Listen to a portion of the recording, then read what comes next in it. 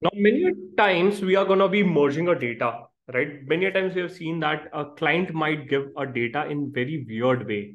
Now, what is a weird way of giving a data? Let's see, right? A client have given you a data in this way, where you find that the client has given you data based on month wise, right? Say, for example, for April 22, the, the detail is this, May is this, Feb is this. Now you have multiple ways to collate this data out.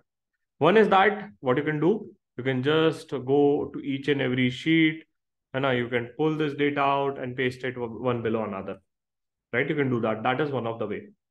But in Excel, I'm going to be teaching you out how to use a Power Query and within a minute, you can merge this entire data, how big the data is, doesn't matter right? If you're watching this video, definitely you'll be able to get a file in the description, right? And also if those are students, right, you can also get it this file in my course section.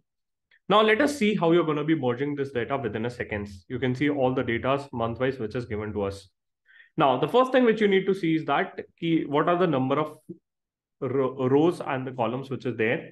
Now, first of all, ensure that all the headings which are there are on a consistent line right? If it is not on a consistent line, definitely it is not going to be merging in a proper way, although we can merge it out using a Power Query by changing out the details out.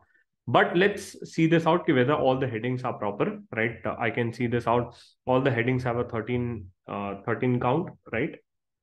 The next thing what you need to do is that if you want to merge it out, open a new Excel sheet, right? You can open it by pressing Control N. Now, next thing what you need to do is go to Data tab, get data from file right? So what we are trying to do, we are get, trying to merge a file which is in the Excel format. I am just clicking on from Excel workbook. The time you click here, right, let us select the base file which was there. The revenue client from PBC was a file. Let me click on import. After you click on import, it's going to be loading. Data is going to be loaded, right? And it is going to be giving you a option.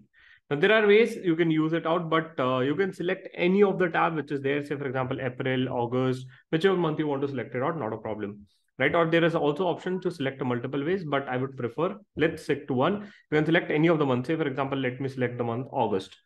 The time you select the month August, the next thing which you need to do is that click on a transform data, right? The time you click here, you'll be able to get the entire data have been loaded for the month of August in the Power Query. Okay, if you could see this out, this is a tab for a Power Query. Now, many of you might feel worried, oh my God, what is this Power Query? It looks very tough, not as simple. It's very, it's very simple out nothing to worry. I'm there to guide you out. Now see how I'm going to be merging the data within a seconds. The next thing which you need to do is that remove all the unnecessary things. Only thing which is going to be needed is the source. So I'm just going to be removing all these things out because I just need a source in my file. Once you have removed this, right? Once you've removed this, you'll be able to see all the months which are there, right? Can you see all these months which are there? You'll be able to see this months out. Next thing what I need is that I need a data, right, which is there in the form of a table for all the all the files. I need to remove the unnecessary column and I just need to keep the first two column which is there. I'll just remove the unnecessary column which is there. I'll right click, remove columns. The time I remove this out, can you see this arrow which is there? Just one thing which you need to do is just click here.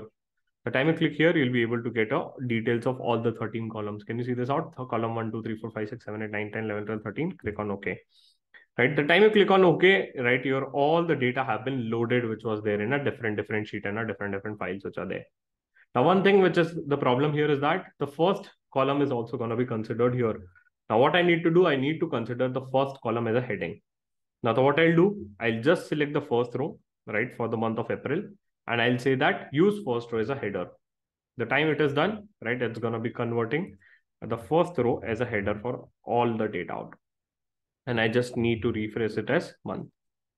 After that is done, right? After that is done, I need to remove the unnecessary headers which are there or the repetitive headers which are there. So what I'll do, I'll just click on filter and I'll remove the entity which is coming every time from the data source.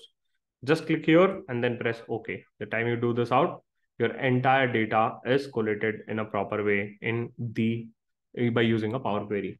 Now what I need to do, I just need to see this data in Excel. What you need to do, close and load. The time you do this out, you'll be able to see a magic within a second. It's loading and it's loaded. Bang on, done. Within a second, you're able to merge this files out, right? So this is something which you can do within a second. And trust me, it is going to be saving you a hell lot of time. Now the data was very less. That is why you feel like, yeah, this is something which can be done easily. But the time data is going to be increasing. It's going to be saving you a hell lot of time. Try this out and just let me know in the comment section. How did you find this video out? And do let me know if you need any such more videos out on any of the Excel shortcut formulas.